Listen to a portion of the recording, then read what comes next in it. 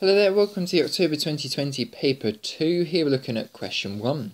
The table below shows corresponding values for x and y for y equals the square root of x over 1 plus x. The value for y, uh, the values of y are given to four significant figures. Use the trapezium rule with all the values of y in the table to find an estimate for this integral here between 0.5 to 2.5, giving your answer to three significant figures.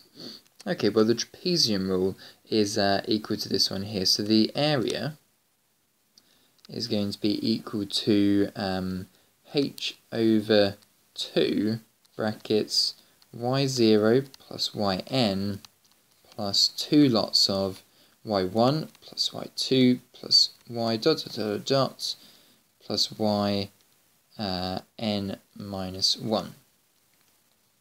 Okay, so there we are, that's the trapezium rule. So the h, h in this case here is the height, is effectively the width of each bar. So that's going to be 0.5 divided by 2 y0 is this y value here, yn is this value here, in this case it's y5, uh, so it's going to be 0.5774 plus 0.8452 plus 2 lots of, and then it's each of these y values in the middle, y1, y2, uh, y3, sorry that's y4 isn't it? Uh, so therefore it's going to be 0.7071 plus 0.7746 plus 0.8165 brackets, close the second bracket, and when you type that all into your calculator, type it all in in one go, you get 1.50 to three significant figures. So there we are, that's the answer to part A. Let's move on to part B. Using your answer to part A, deduce an estimate for this integral here.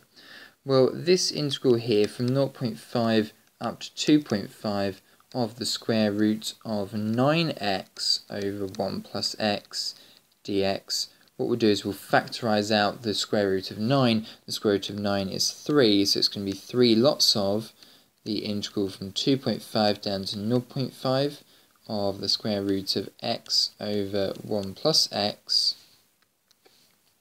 dx. So therefore it's going to be um, 3 times the um, value to the previous integral and that's going to be 4.50. Good, and then moving on to part C, comment on the accuracy of your answer to part B.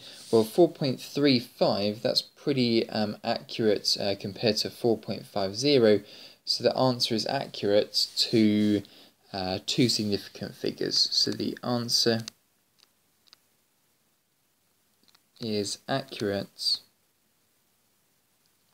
to two significant figures. 4.5 is the answer uh, to both of them here, um, but not to three significant figures. So it's just correct to two significant figures.